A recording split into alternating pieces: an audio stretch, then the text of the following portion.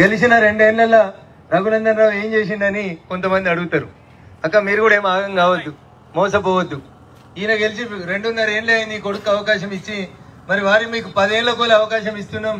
పదేళ్ళ కోలే గెలిచిర్రు పదిసార్లు ఆరేపల్లికి వచ్చిర్రా అని ఒక్కసారి మనం ఆలోచించాలి.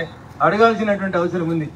ఈయనే పక్కూరే మీ పక్కూరాయనే ఇలా నేనే ఎమ్మెల్యే అభ్యర్థిని కారు గుర్తు నాదే అని చెప్పి కొందరు తిరుగుతున్నారు ఈయనే వాళ్ళ ఊరుకోవాలంటే మీ ఊరు దాటిపోవాలి. ఎన్నడైనా మరి వారి కారు మన ఊరికి వచ్చిందా? మన ఊర్లో ఎవరికైనా ఏమైనా కష్టం ఉంటే నిలబడ్డారా ఒకసారి అది చేసుకోవాలి. పదేళ్ళ కోలే ఎంపీ ఉన్నోళ్ళు పది సార్లు రారు కానీ ఇవాళ పోటీ చేసేందుకు రాగానే మాత్రం నానా రకాలైనటువంటి యాగి నానా రకాలైనటువంటి పంచాయతీ చేస్తూ. రెండున్నర ఏళ్ళ నేను ఎమ్మెల్యే గెలిచినాక అంతకుముందు దుబ్బాకాని ఎప్పుడు అసెంబ్లీలో పేరు వినబడేది కాదు. నేను ఎమ్మెల్యే గెలిచినాక ఎప్పుడు అసెంబ్లీ సమావేశాలు జరిగినా మా దుబ్బాక పరిస్థితి మా పంచాయతీ ఏంది అని కొట్లాడినాను తప్ప ఇంకో మాట మాట్లాడలేదు. దుబ్బాక అనే దానికి పేరు వచ్చేటందుకు ఈ రఘునందన్ ఆశీర్వదించింది మా అక్క చెల్లెళ్ళు తప్ప ఇంకొకరు కాదు.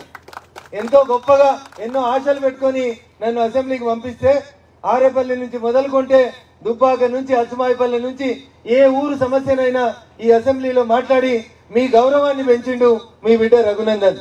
రెండున్నరేళ్ళకే మళ్ళీ ఎలక్షన్స్ వస్తా ఉన్నాయి. అందుకని మరొకసారి అవకాశం ఇచ్చి ఆశీర్వదించాలి.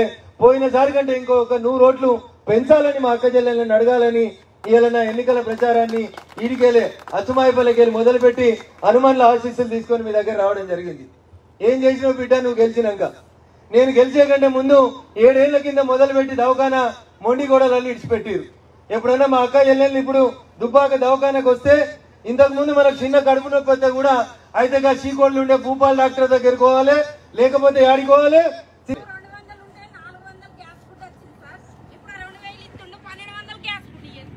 దాంట్లో ఇప్పుడు మళ్ళీ మొన్న రెండు వందలు ఒకసారి వంద రూపాయలు ఒకసారి మూడు వందలు మొన్న తగ్గించినాం.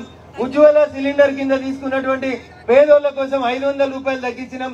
అక్క తప్పకుండా పేదోడి కోసం పనిచేసేటువంటి ప్రభుత్వం నరేంద్ర మోడీ గారి ప్రభుత్వం బీసీల కోసం పనిచేసేటువంటి ప్రభుత్వం నరేంద్ర మోడీ గారి ప్రభుత్వం కాబట్టి ఒక్కసారి ఆలోచించురి మొన్న ఏదో కొత్త పథకం తెచ్చినా అని చెప్పారు కారోళ్ళు. ఏమని? బీసీలకు అందరికి మనిషికి ఎంత ఇస్తా అన్నారు? బీసీ బంధు ఎంత ఇస్తా అన్నారు? లక్ష రూపాయలు. వచ్చిందా ఆరేపల్లిలో ఎవరికన్నా? వచ్చిందా? ఈ ఊర్లో లేరా బీసీలు? ఇల్లు కట్టుకుంటే అందరికి డబుల్ బెడ్రూమ్లు వస్తాయన్నారు. ఇల్లు కట్టుకుంటే ఐదు లక్షలు వస్తాయన్నారు. వచ్చినాయా? ఆ ఐదును మూడు వేస్తే మీరు గెలిపించిన మీ బిడ్డ రఘునందన్. మూడు లక్షలకి పునాదులు కావు సార్. ఏడున్నర లక్షలు కావాలని కొట్లాడినాం.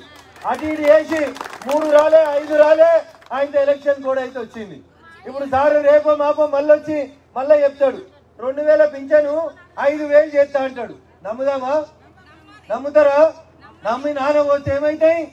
కుచ్చి బుర్రలు అయినట్టు మళ్ళొకసారి మోసం చేసడానికి ప్రయత్నం చేస్తారు. అందుకని ఆలోచించండి.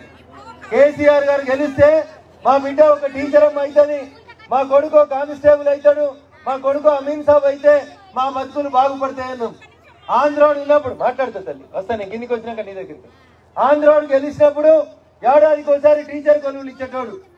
ఇప్పుడు ఏడాదికి ఒకసారి టీచర్ కొలువుల సంగతి మర్చిపోయి అప్పుడప్పుడు పేపర్ నోటిఫికేషన్ ఇస్తారు పరీక్షలు పెడతామంటారు. ఆఖరికి గ్రూప్ వన్ పరీక్ష కూడా లీకే అవుతుంది.